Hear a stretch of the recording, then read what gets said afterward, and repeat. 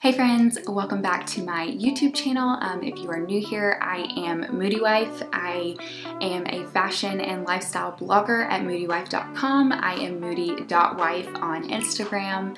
Um, if you'd like to follow me there, I share fashion, beauty, general encouragement. I try to have a positive space in my corner of the internet, um, and I love connecting with you guys here. So today I thought it would be fun to show you how I curl my hair along with some hair products that I love. I get questions about this a lot over on Instagram, so I thought I would make a whole video. So first and foremost, after I wash my hair, I always use the It's a 10 Miracle Leave-In product. It has helped my hair so much. It makes it so soft and my hair, since it's long and thick, is really prone to getting tangly and matted and this has helped with that so much.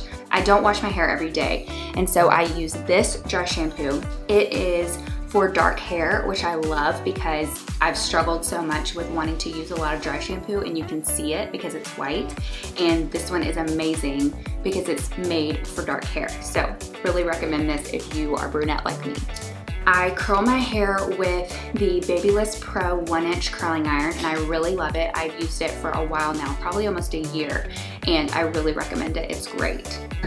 I brush my hair with a wet brush. I've really liked this brush. I've had it forever and I just feel like it does a good job of getting those tangles out with minimal breakage. And I use the Moroccan Oil hairspray. Um, I don't always use hairspray, but when I use one, I use this one because it smells amazing and it's really lightweight on my hair.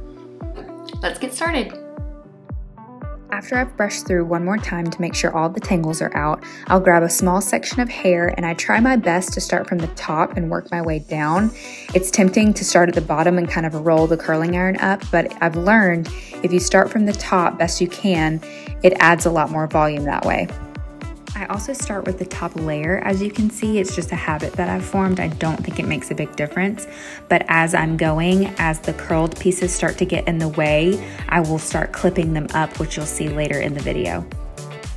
Okay, I'm gonna speed the rest of this up or else we're looking at a very long video. But if you have any questions at all, please leave a comment below.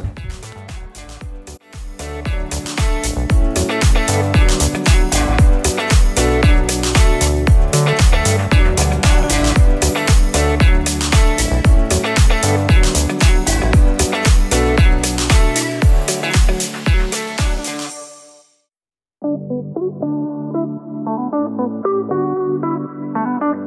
you.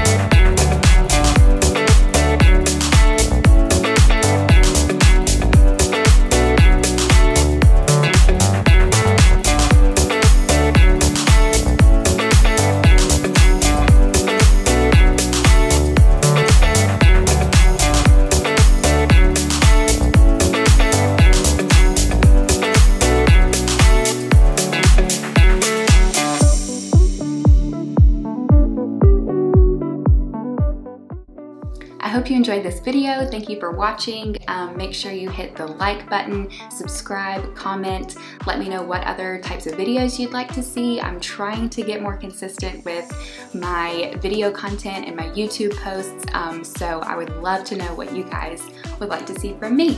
See you next time.